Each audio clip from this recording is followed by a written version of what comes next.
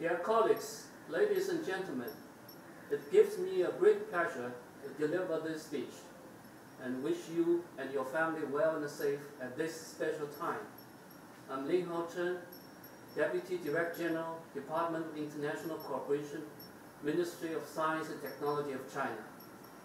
I would like to express our support to the efforts by FENS in promoting global brain research collaboration. Brain science is one of the most important frontier science. It is crucial for our basic understanding of human biology.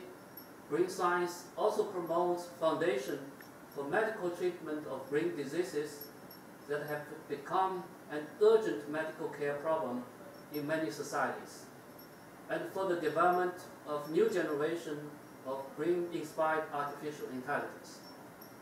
Ministry of Science and Technology of China has supported many research projects in the area of brain science in the past and is currently planning a major national project on brain science and brain-inspired technologies for the next 10 years within the framework of Innovation 2030.